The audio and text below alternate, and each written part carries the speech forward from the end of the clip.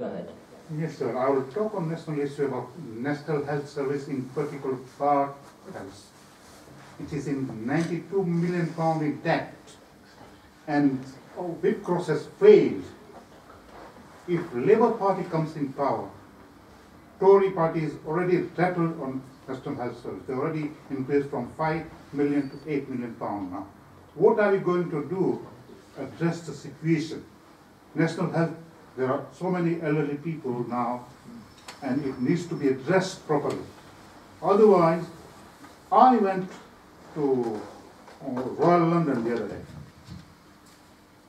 They spent one billion pound on that building. But it was a diabolical, I'm choosing my right word, all right? It was a diabolical service. I have come from West London, and I know I have lived over there, but I have never seen such a hopeless situation. To change my address only took two months. And I could not, I could not address, though I wa- I was politically involved in Nor- Northwest London.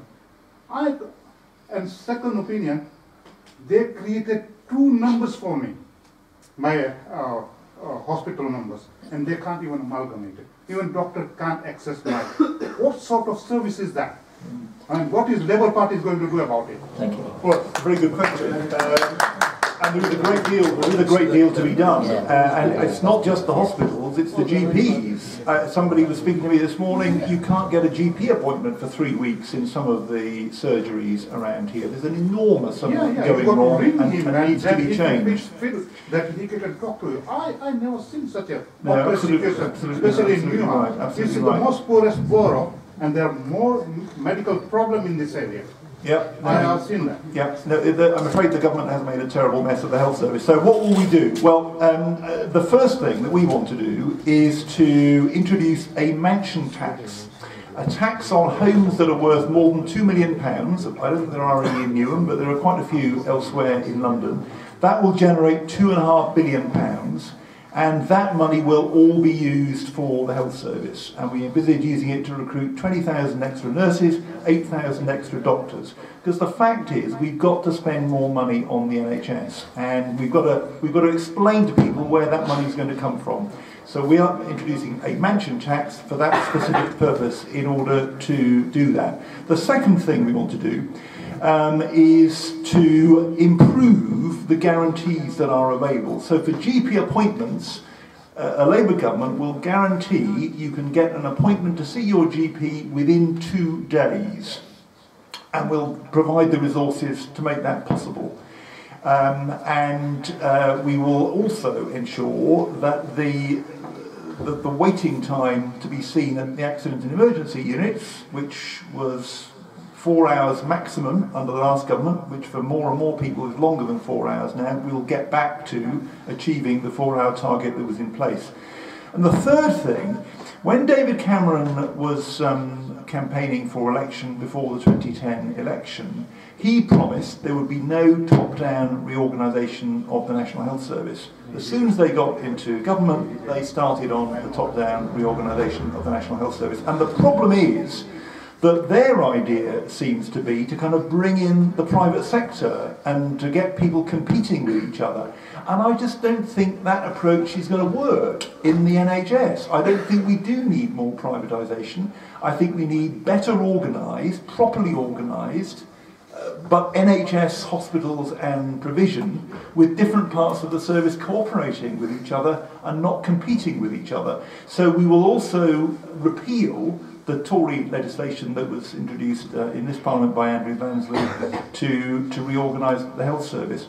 Um, you, you're right to say that the, the, the Conservatives have announced today that they would spend an extra £8 billion pounds a year on the NHS by 2020. Now, the, their problem is that what they've actually announced is huge cuts in public spending over they, they want to take 12 billion out of, out of the welfare budget and billions out uh, but they're now sort of saying that at the end of, of the next parliament uh, 2020 there's going to be a big increase in spending so their own office for budget responsibility says they've got a roller coaster projection. They've got a massive cut for the next couple of years and then massive increases after that, which really makes absolutely no sense at all. So what we're saying is, no, we are going to introduce a new tax, a tax on homes worth more than two million pounds. That's going to give us two and a half billion pounds every year, and we're going to use that to improve the health service. And I think that's a, a more sensible oh, approach I, than. I, I think the elections will be lost on NHS. Yeah, no, I think you're probably right. Yeah,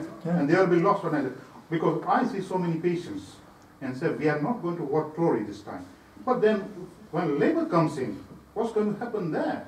How, how, how are you, go- situation, look, people from Chelmsford coming to Royal London, hmm. They, they, they, this, when they created this Bart Hospital Trust, that had made a lot of mess, and they have to Yeah. change that. Well, let me. I'd be interested to know what I think. Actually, if you look at how things are working in Newham General, or rather Newham University Hospital uh, at the moment, I think it's not too bad. It's not bad, no. I- Um, Whipps Cross, Whipps Cross is terrible, as you say, and they've been failed by the inspection, and hopefully that's now going to be sorted out. Newham itself is not doing too badly. I think we've just got to keep a very, very close eye on what's happening at that hospital. Make sure that we, you, you're right to point out there are big debts there that have got to be met, and we've got to you know look at how they're uh, what they're going to be doing to pay off their, their debts. But in terms of Newham Hospital, I'm reasonably happy with how things are going, but we have to watch it like a hawk over the next few years. And, and, and just to ask Stephen specifically, I have a question uh, that was sent about Newham General Hospital specifically. Uh, the number of ethnic minorities in, in Newham is, is over 50%, most of them from the sub Indian subcontinent. They're very sensitive about women being examined by women uh, medical experts. Uh, for example, in Newham, we don't have at the moment uh, somebody who can scan baby sonograph who is a, a, is, who is a fe- female, so it has, it's, it's only a male. We already have certain doctors or departments which are only dominated by male doctors, so they're, they're examining uh, women folk who are not comfortable with that. So shouldn't there be something Specific, that, specifically in the maternity. uh, both in maternity and other areas? Uh, so, uh, for example, uh, I know of a lady who's got a shoulder injury, uh, and she's, she was told two days ago that she can only be examined by a male doctor.